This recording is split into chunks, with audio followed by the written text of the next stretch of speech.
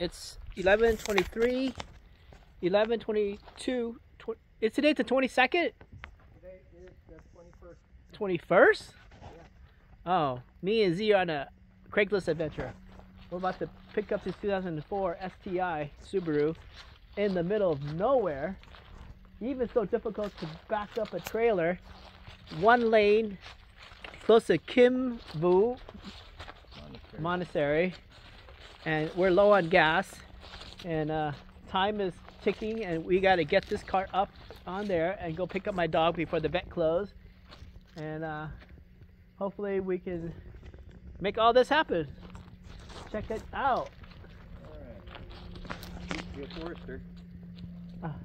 So what's the situation, Z? What do you see? Uh, I see uh, suspension that's been compromised from rollover.